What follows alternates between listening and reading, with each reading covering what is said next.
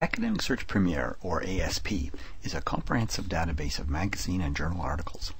This tutorial will show you the basic method of finding an article.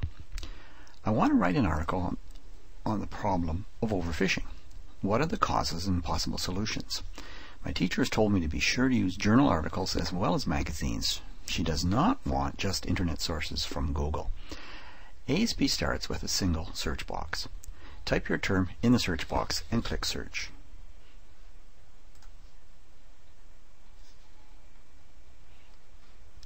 The results show in the center column.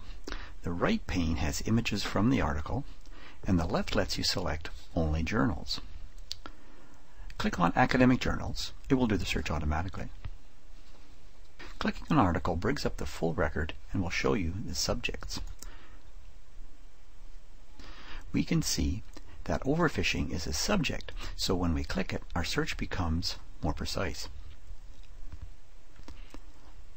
Our results are now much more on the topic than the keyword search. The folder icon gives the article details without having to display the full record. This list is a mixture of magazines, journals, and newspapers.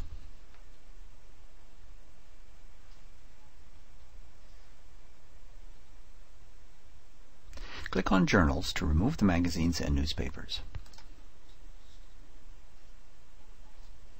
There are many more features in ASP.